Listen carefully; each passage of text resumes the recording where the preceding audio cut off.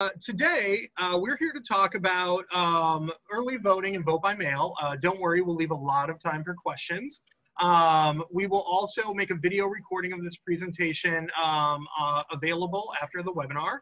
Um, and if you have any issues, you can just drop them into the chat box for us.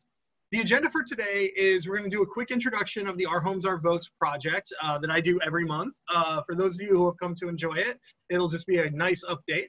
Um, we'll talk a little bit about COVID-19 advocacy because indeed, whenever people are gathered anywhere during these difficult times, uh, we should chat a little bit about COVID-19 and efforts to uh, address housing and homelessness needs uh, of the recession and the pandemic. Um, I'll talk a little bit about becoming an affiliate of Our Homes, Our Votes. I'll share about the Housing Providers Council, and then we'll get into our special topics, which are early voting and vote by mail.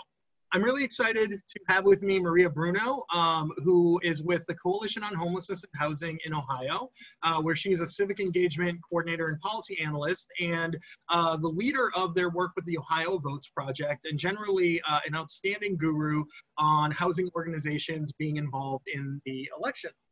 Um, so to introduce you to Our Homes, Our Votes really briefly, many of you know this is our effort to increase voter registration and turnout among uh, low income renters and their allies throughout the country. This involves three pieces. One, registering voters, then educating voters about how to vote, what to bring with them, what's on the ballot, and then mobilizing voters, partly on election day, though in an increasing amount of states before election day through early voting, no excuse absentee voting, voting, or vote by mail. We do this for uh, a pretty simple reason. We want to address the disparity in voter uh, turnout between renters and homeowners. And as you can see on this graph, there's usually about a 20% disparity uh, between renters and homeowners. And that disparity is even greater, in fact, when you look at uh, income levels. People with ho households with incomes below 20,000 are much less likely to vote than households with incomes over 100,000 in elevating low income renters and their needs in the election, we have the support of the overall electorate. 83% of the public agrees that elected officials are not paying enough attention to the cost of housing and the need for more affordable housing. 76% they are say they are more likely to vote for a candidate who has a detailed plan for making housing more affordable. I'm going to break now from our homes, our votes, just to chat really quickly about coronavirus and what's happening uh, with our ongoing advocacy there. Uh, first, many of you are aware that we have uh, some really specific asks for Congress right now. Um, we're working toward 100 billion in emergency rental assistance, uh, a comprehensive national eviction moratorium, and 11.5 billion dollars in emergency solutions grant. I'm seeing a lot of uh, blinking lights in the chat box, so I'm going to quickly pause and take a look to see if I'm having some kind of audio problem, and then we will proceed. Um, Okay, looks like everything's good. Um, so, uh, August 24th, we are holding a day of action. This is, in fact, the upcoming Monday. This is the day when, uh, after the exp uh, expiration of the federal eviction moratorium almost a month ago, uh, landlords covered under federal housing funding are eligible to um, evict tenants. Uh, they needed to give a 30 day notice. So NL NLIHC is partnering with the Coalition on Human Needs to call on Congress to hashtag get back to work and return to their negotiations. Um, our day of action resources are all available on the website, and uh, we'll drop those in the chat box. I'm sorry they're not on the slide. Um, and then we'll also have media guidance and sample tweets, uh, a story banking form. And I want to specifically emphasize uh, the power of stories right now as it relates to advocacy around the coronavirus, because too many members of Congress and indeed media outlets are growing skeptical that we will in fact have a tsunami of evictions based on people who have lost income due to this uh, virus and the, the recession. Um, the fact of the matter is, landlord behavior uh, follows the ability of people to pay for their housing. And all of our estimates show that there's going to be a true surge of eviction unless we do something in a preventative manner, because addressing evictions uh, will always be easier and more cost effective if we do so before they happen. We also have uh, talking points on all of our policy asks uh, that will be available for the day of action. Slide. Uh, the Natural Disaster and Emergency Ballot Act is something that you might be, want to follow. Uh, this is Senate Bill 3529, introduced by Senators Amy Klobuchar and Ron Wyden. It ensures that all voters in all states have the option to request absentee balloting. It requires at least 20 days of early voting in all states, and it provides 3 million to the Election Assistance Commission to begin implementing all of the requirements of the act. Um, there are obviously shifting rules uh, in many of your states right now for early voting, vote by mail, and voter registration. Um, please take a look at the state-by-state pages at ourhomes.r-rvotes.org when we'll update, um, where we'll be updating uh, these changes moving forward. Uh, all right. Oh, I lost my slideshow. I can't figure out what. Sorry, one second technology and the pandemic. Am I right? All right, back on my slide. I was back on my slides. I seem to have lost my slides. All right. Are we back? Looks like we're back. Okay. So um, stay aware of what's happening in your state, and please also consider joining Our Homes, Our Votes as a local affiliate. This helps us know who's doing what throughout the country. Uh, being an affiliate isn't any sort of um, stringent requirement on any of you. It just gets you some t-shirts, stickers, and buttons. You get to use the Our Homes, Our Votes logo and co-branded materials like materials like posters and flyers and so forth. So forth, and we'll also amplify any of your local efforts through our social media, our blog, and our regular Our Homes, Our Votes e-newsletter. You'll also have access to guidance from NLIHC staff. Uh, let's get to the matter at hand today and talk a little bit about early voting and vote by mail. First, be aware that 200 million Americans can vote early. Depending on your state, it might not apply uh, directly to you, but most states allow an early voting option. Um, this ensure, ensures that Americans don't have to choose between their health and their civic duty. Um, voting early allows for greater social distancing and fewer people to cram into a polling site at any given time on any given day. Um, busy schedules and long lines often prevent voters from casting their ballots. And early voting makes it easier for campaigns who are encouraging people to vote to do so over a longer period than one day. Through early voting, get out the vote is often a matter of several weeks and not just a one day affair. Voting, voter registration, of course, is only half the story so many of our campaigns focus on registering low-income voters and, and boosting their uh, presence on voter rolls. But if they don't actually make it to the polls, or if they don't actually submit a mail-in ballot, their registration is less useful. We need to make sure that registrants are actually voting. Uh, a factoid here is that 70% of Americans are registered to vote, but only 50% of Americans actually turned out in the last midterm election. Americans like early voting. 40% of voters uh, have already voted early in the past. Uh, they like having options, and polling shows us that. And people respond really well to safe and secure elections, uh, which is more likely um, when early voting is available. Though early options are increasing rapidly and have been for several years, and up until very recently had um, bipartisan support. So uh, learning from other uh, national events like National Voter Registration Day or Giving Tuesday, there is this year a Vote Early Day where organizations such as yours throughout the country are being actively encouraged to plan events around voting early um, and uh, calling on people to, uh, to go to the, the early polls together um, and do so on October 24th, um, which will be uh, eligible uh, in every state that has early voting available. So uh, these, uh, the early voting day is being coordinated by a very large coalition of several national organizations.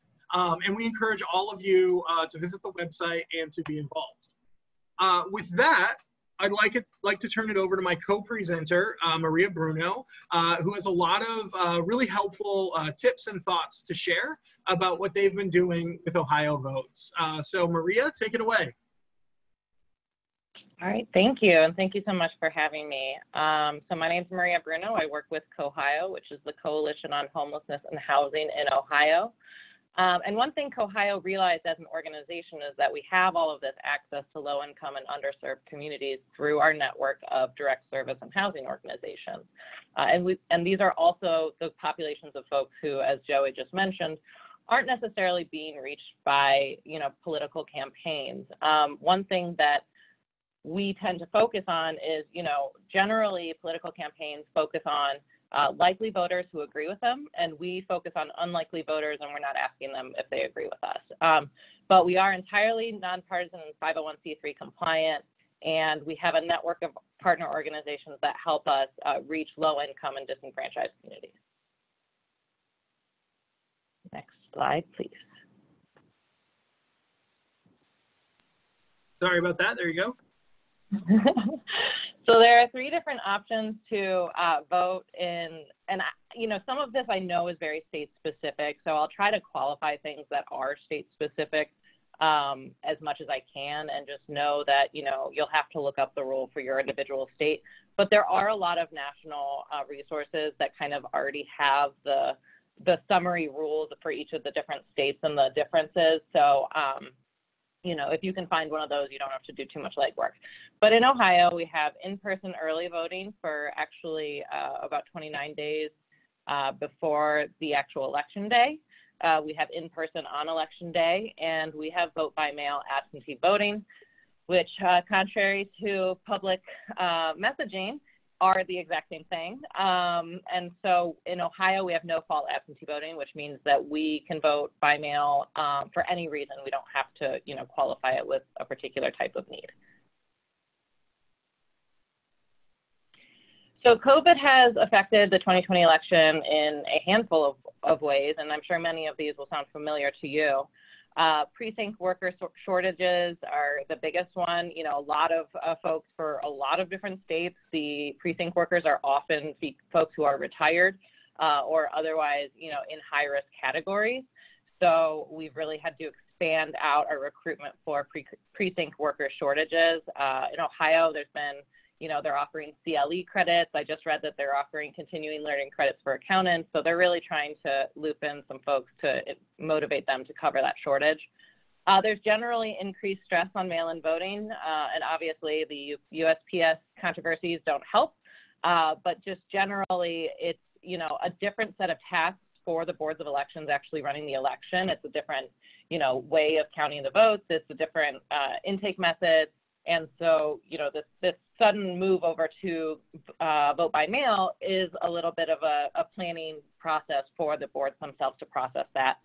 Uh, a lot more uh, confusion about rules, dates, and locations. Uh, Ohio, uh, some of you might be familiar with, had their primary actually all of the polling locations closed as of 10 p.m. the night before election day. And then we had an extra month to do mail-in ballots, and we didn't have in-person ballot uh, voting for the majority of folks. So needless to say, for this year, the general, uh, a lot of folks are really confused about what the rules are, are going to be for the general. But our, our general, as of right now, is going to look very similar to the average general election, just with um, some more safety accommodations. Also, potential for short notice changes. Um, our Secretary of State is actually working very hard to create deadlines so that folks cannot, you know, the night before the election say we have three poll workers and that's not enough. Um, so they're requiring some notice so that they can accommodate any poll worker shortages, but there's still a potential for shortages, which means they could consolidate polling locations. Um, and, you know, also this affects Ohio Votes operations in a number of ways. The biggest is, you know, as we made plans six months out, it um, really became important for us to have two sort of parallel plans. One, if people are allowed to be in public, and two, if everyone's still virtual everything.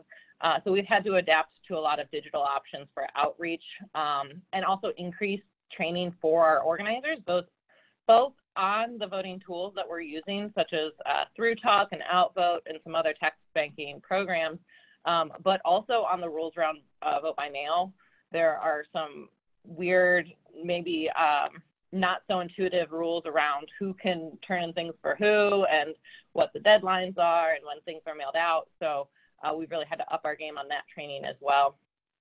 And I mentioned the moving target for planning purposes, just always kind of ready for the city to shut down uh, tomorrow. So that just creates a level of planning that we certainly have not had to do in the past. And we have previously done rides to the polls, which we are not, we officially have decided that we will not be conducting, but we uh, will be doing a how-to guide for smaller organizations that decide to take that um, that up themselves. So we have a lot of random volunteers and smaller organizations interested in doing that. Uh, we just on a statewide level really can't uh, put the safety measures in place that we would like to feel comfortable to uh, execute that program. Uh, next slide, please.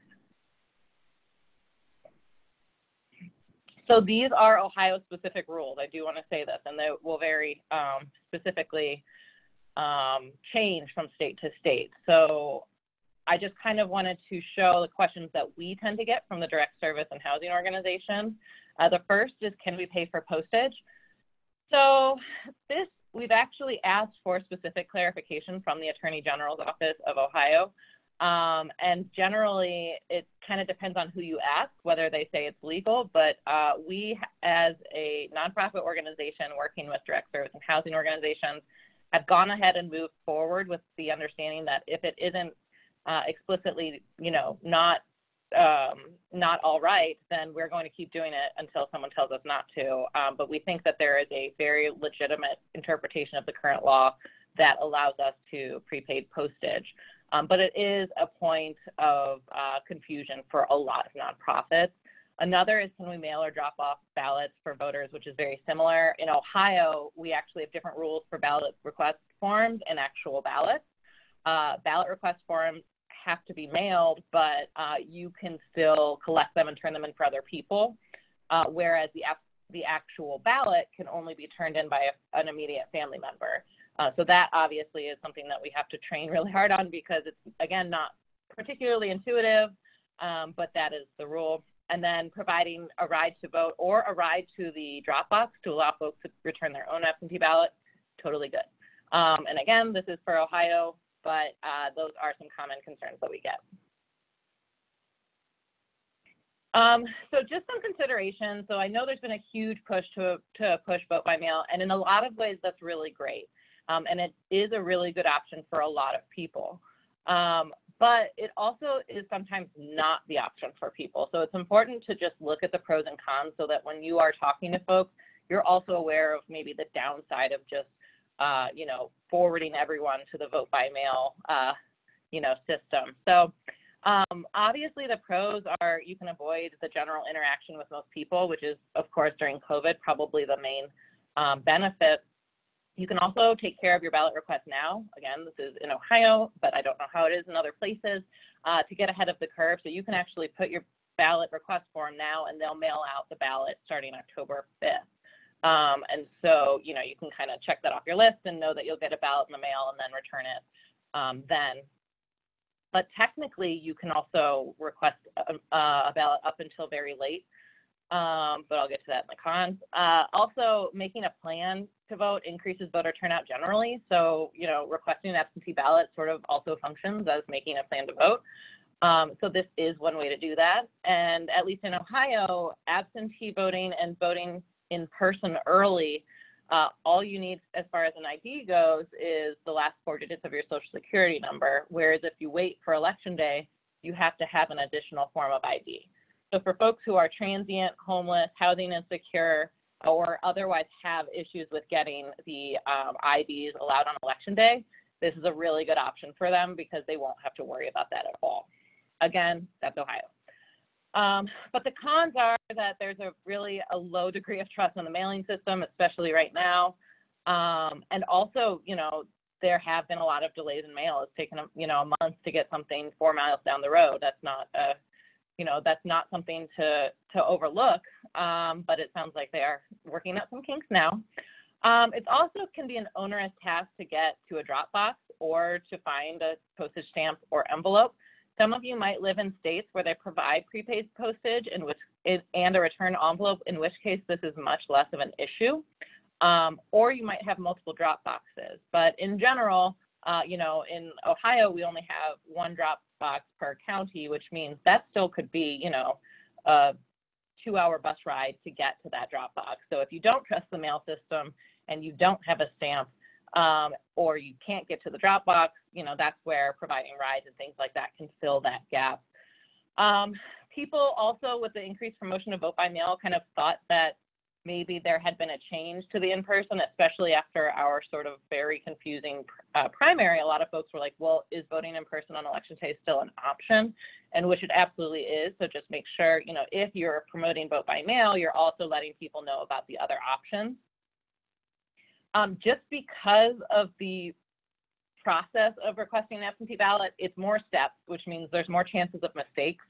Um, and there's also more volunteer training. You know, an incomplete form, uh, you know, two rounds there and back in the mail to send your form, get the form back, or get the ballot back, mail the ballot again. Um, each one of those, you know, you leave a box empty, you leave insufficient postage. Uh, the uh, Board of Elections decides your signature doesn't match. There's a bunch of different reasons that that can be uh, just setting yourself up for more potential to um, accidentally disenfranchise voters. Um, again, just in Ohio, voters are not alerted if their if their ballot does not sort of get processed or uh, count for any number of reasons, and that could be, for example, that their signature didn't match, that they left a key key part of the form blank. Uh, there's a lot of different reasons, but if you vote by mail, you won't necessarily know um, whether your your ballot was counted, which is um, not nothing. And then a voter might change their mind about mailing or about voting by mail, and so then they might try to vote in person. Uh, you know, that can create a bureaucratic headache for a lot of folks. Again, just in Ohio, uh, they will let you vote in person provisionally, and then once they've confirmed that you haven't also turned in the uh, mail-in ballot, then your vote will count by normal. We also have some boards of elections, and I don't think all, are taking the initiative to, if folks request an absentee ballot, but then decide to vote early in person, they're actually going to cancel that request right on the spot and let that person vote a regular ballot. Uh, next slide, please. Is that all I have? I'm not sure. Yeah, I think the next slide is okay, questions. Great. um, great. So I, I, I want to throw it over to questions, and frankly, I'm expecting there will be a lot of them because there's been so much conversation recently about uh, vote by mail, uh, which is not a political issue at all, uh, but has sort of become one due to coronavirus and um, President Trump's concerns about what he would call voter fraud, but is surely um, his concern about high voter turnout. Um, so uh, take a second and put questions into the chat box.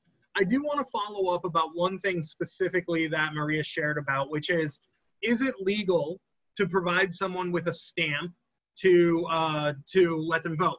Now, the reason this is a question, and, and some of you might know this, is it's illegal to provide anyone with an incentive to vote. But you can't use an inducement of any material or monetary reward, right? Um, so this applies to things like an election night party um, we're going to have a pizza party in the community room, and if you have an I voted sticker, you get in, you get free pizza. Or maybe at a bar, they want to give a free beer to everyone who wears an I voted sticker. Uh, that's illegal. Uh, voters and non-voters have to be treated alike. You can have an election night party, but there can't be anything that's just available for voting. Um, the difference between a pizza party or a free beer and a ride to the polls is a ride to the polls is not a reward for voting. Um, it is in fact a uh, uh, an offer to to allow someone to vote who otherwise might not be able. Yeah, exactly. Now, the reason the stamp gets a little bit complicated is that a stamp has actual cash value of something like 50 cents. I don't even know right now. And so the idea is if you give someone a stamp, they might use it for any number of things. Um, and as a result, this could be an inducement.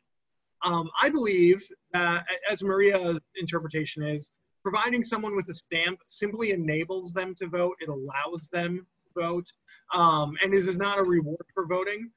And frankly, I'm not aware of any example anywhere where somebody got in trouble for providing stamps. I'm aware of several examples of people getting in trouble for providing other things as a reward for voting, um, but stamps surely um, help help um, uh, ballots get counted, right? And that, that ultimately is the goal of our efforts. Um, I want to. And, and another thing just to note too about that is, um, you know, not only is it not an inducement to vote, but because most of you folks are at nonprofits, you know, often one of the services being provided is, is facilitating folks to send any mail.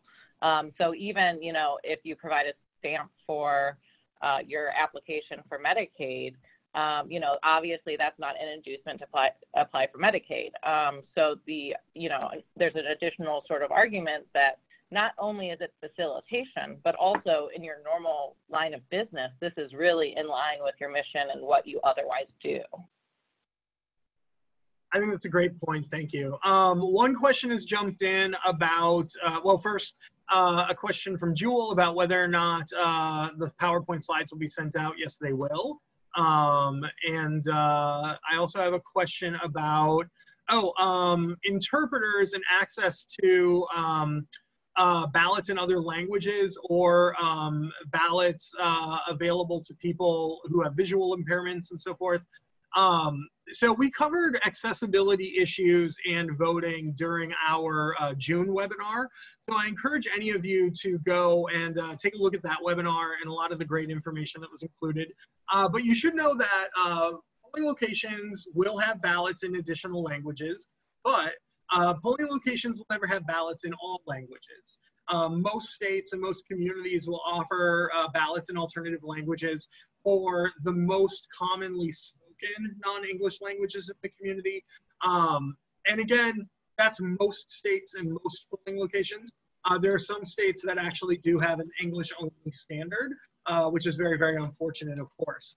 Um, there are uh, a lot of great people at the Hispanic Federation um, and uh, uh, Latino Victory Project who are working specifically on Spanish language access ballots. Um, and then the National Council on Independent Living has some resources on uh, ballot access for people who have um, visual or hearing disabilities as well. Um, I'm looking for. It, um, I'm sorry, I was just going to add to that too, is it actually can even vary by county. So in Ohio, um, the threshold for um, providing uh, different languages other than English is that they have a certain percentage of their population that speaks that language. So we're actually uh, working right now with folks uh, in the Youngstown area who has, have had an increase in their Hispanic population, but still has not reached that threshold. And so they're worried about ballot um, access for that. That being said, all of our um, handicap standards or disability standards uh, are statewide. So it, you know, it can depend on the state, it can depend on the county, it can de depend on the specific issue.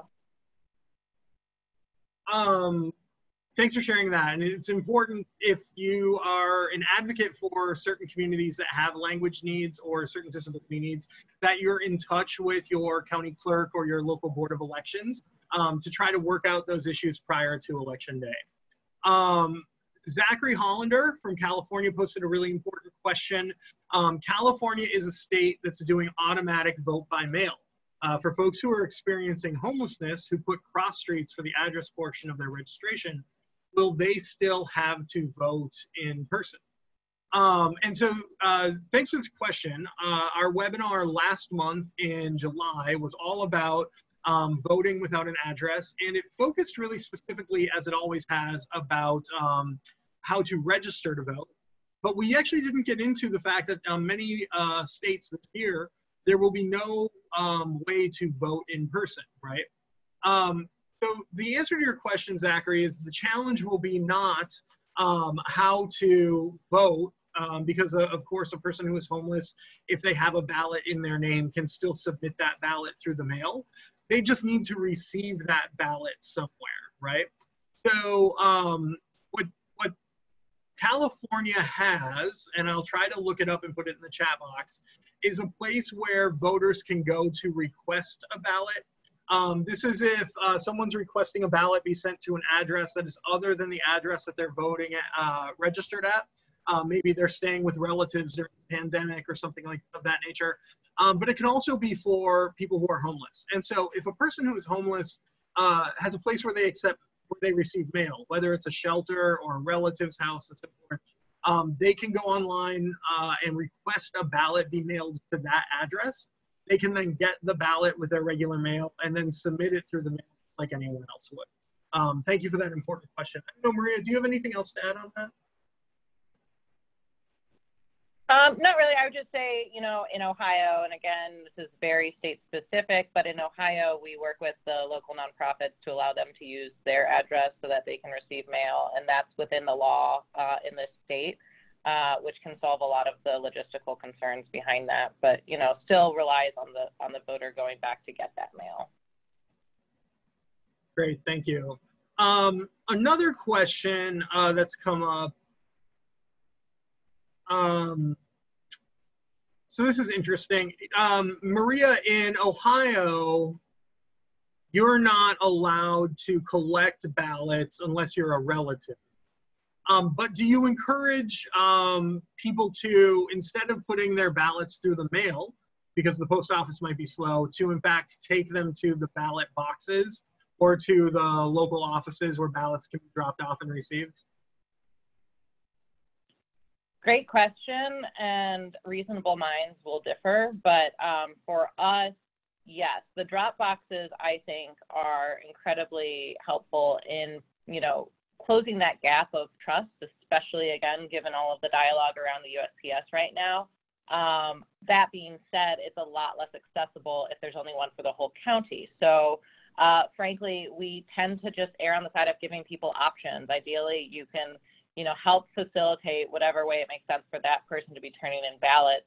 Um, and then just kind of remind them of the rules and make them aware of where the ballot boxes are and, you know, what the dates are around the post office. So I do think that's, you know, the, the safest direct path to getting in the hands of the Board of Elections and certainly what we would advise folks to favor. Um, but, you know, the USPS is still an institution that is uh, responsible and things will get there, especially if you give adequate time. So, um, you know, we haven't, tr- we've tried not to contribute to that um, sort of fear tactic that the USPS can't function anymore because it can, it just is a little bit slow. Great point, thank you. Um, and I, I will add my perspective. I, I think Maria was saying, I think different campaigns will take different approaches. Um, my perspective is um, it's definitely best to drop off the ballot versus um, relying on the postal service. And I think that's true in any environment. Um, the postal service, any number of things can go wrong. We've all had things get lost in the mail before. Um, now, that's not to say that mail-in voting isn't reliable. It is, of course, very reliable, but not as reliable as putting the ballot into a ballot drop-off box. So, to the extent that you can promote that um, with the low income renters or in your network, it's definitely a better way to go because there's greater certainty the ballot. Um, I'm going to look for. I also, go ahead. I'm going to look for sorry, more questions. I was just also going to um, add related to that um, that, and now I'm forgetting my train of thought. You just said to do the drop boxes. Yeah, I'm definitely oh, no. more reliable. Yeah, to be honest, I forgot my comment. So move along and I'll put in the chat when I remember. I'm pretty sure we can edit that out of the recording. I think you'll be fine. Um, we did have a an update come in that in Rhode Island, uh, Kristen is posting that they won um, new in-person voting periods um, for town and city halls, uh, 20 days up to election day, which is really excellent for any early voting campaigns. Um, I remembered. Oh, go ahead. Uh, so in Ohio, we actually have an ability to track your ballot too. So if we do end up relying on the postal service, one thing that we will advise voters is to, to track it, whether that uh, request was received, whether the ballot was received, and they have you know a tracking mechanism to do that, which adds a little bit of extra um, confidence in the system.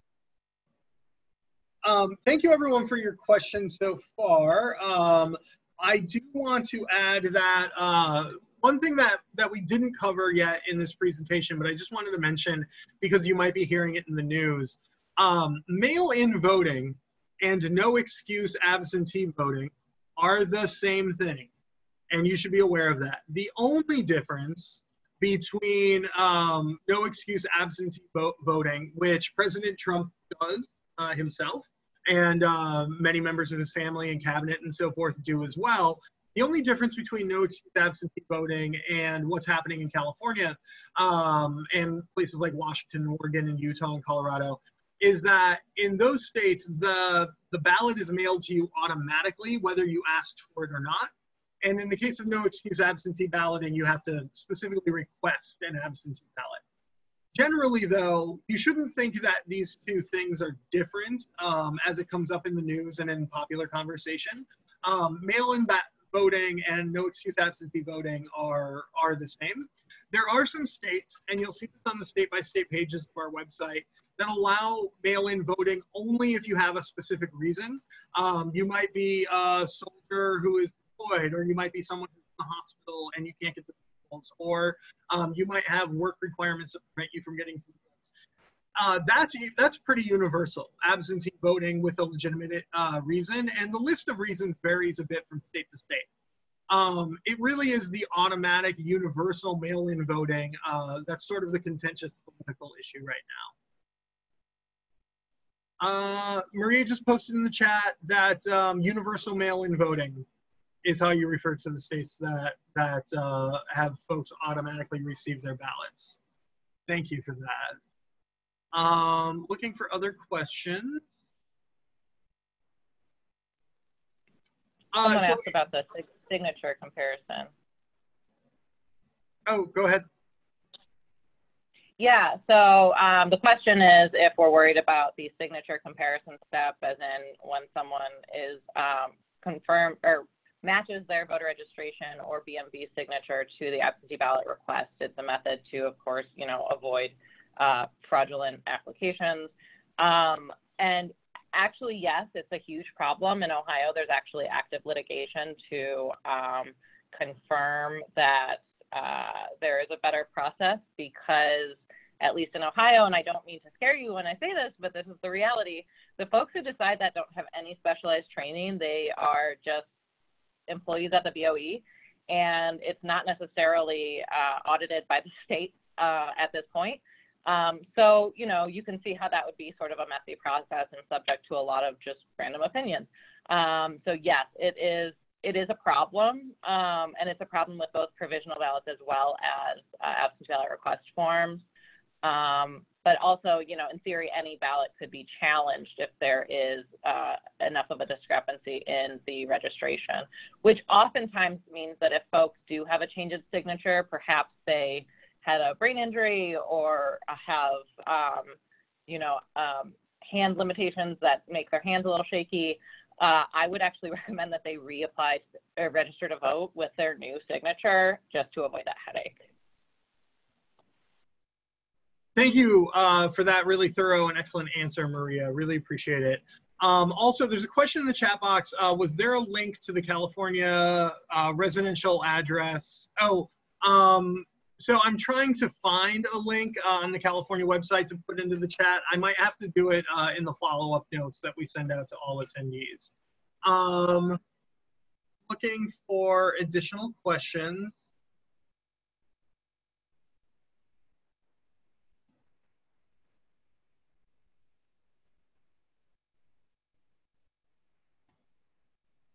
Oh, uh, Kristen uh, Langworthy from Rhode Island uh, chimes in with another update about uh, their recent victory in Rhode Island Common Cause um, versus Gorbea. Um, that uh, was a, a, Supreme Court ruling um, defending a consent agreement uh, of the state waiving the signature of witnesses and notary requirements, which is really big legal precedent that might be relevant to some of the work that some of you are doing. All right. Oh, oh. All right. The slides started moving. Um, so feel free to continue to submit questions. Uh, I'm taking a look. Uh, let's see here. Uh, for now, I'll just uh, share with you that we have our third Thursdays at 3 webinar and podcast series uh, wrapping up. It seems like it started uh, so long ago. This is, in fact, our 12th session, and only three remain in the monthly sessions. Uh, we're going to do voter mobilization part two uh, in September. That's going to be about protecting voters against uh, voter intimidation uh, and perhaps voter caging uh, tactics. And then in October, we'll focus on election day. and getting out the vote and what election day will look like throughout America. Uh, and then in November, we are going to talk about holding candidates to their promises. Uh, many of you know we did a couple of candidate engagement webinars earlier in the year. Uh, and then in November, we're going to wrap up to talk about ongoing engagement with candidates now that they are uh, elected officials. Oh, uh, Johnny Peace uh, just asked an important question in the chat box, which is, is the presentation on ballot initiatives still available? Um, so we had a technical difficulty with that recording and we're going to re-record the ballot initiative session and send out a new recording and paste a new one online. Um, we're going to try to have that done uh, hopefully by the end of next week. And we'll make sure to um, send an email to webinar uh, registrants and attendees when that recording becomes available. Uh, thanks for that question, Johnny, and I'm sorry it's not available right now. Uh, please become a member of the National Low Income Housing Coalition. Uh, membership supports our ongoing work on the Our Homes, Our Votes 2020 project. And uh, we appreciate any organization or individual becoming members at any uh, contribution rate they can afford. And then these are the housing advocacy orders, organizers on uh, NLIHC field team. You'll see an email address and a phone number for myself, uh, Brooke Schipporeit, Tori Bourret, and Kyle Arbuckle. Um, and you can reach out to us if you have any questions or if you'd like to be involved moving forward. Um, all right, any other questions before I wrap it up? I'm looking, going once, going twice. All right, seeing no other questions, I want to thank you all for joining us today for this really important topic. Um, and I hope we, uh, we all connect very soon. Uh, look forward to the recording and the slides coming to you in a follow-up email in the next couple of days. All right. Bye, everyone.